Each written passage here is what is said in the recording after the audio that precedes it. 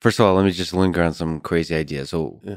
uh, one, the strong force, just stepping out and looking at all of physics. Is it weird to you that there's these forces and they're very particular?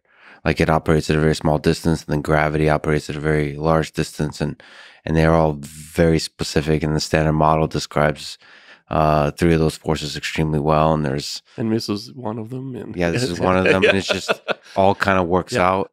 There's a, a big part of you that's, uh, you know, an engineer. That you st- step back and almost look at the philosophy of physics. So it's interesting because as a scientist, I see the universe through that lens of essentially the interesting things that we do are through the forces that are get used around those, and everything works because of that. Richard Feynman had uh, I don't know if you ever read Richard Feynman. It's a little bit of a tangent, but He's never been on the podcast. he's never been on the podcast. He Yeah. was unfortunately passed away, but one of like a, a like a hero to almost all all Yes. physicists.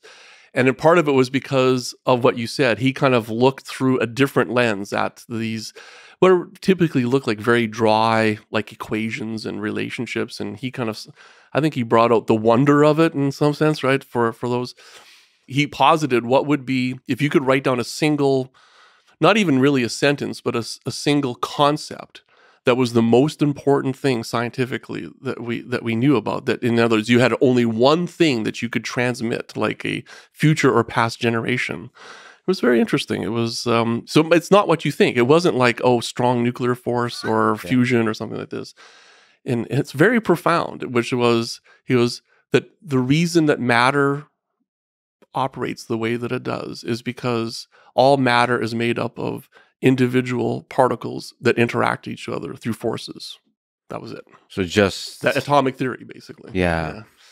Which is like, wow, that's like so simple, but it's not so simple. It's because like, wh- who thinks about atoms that they're made out of? Like, I, I, this is a good, this is a good question I give to my students. How many atoms are in your body? Like, almost no students can answer this, but to me, that's like a fundamental thing. yeah, By the way, it's about ten to the twenty-eight.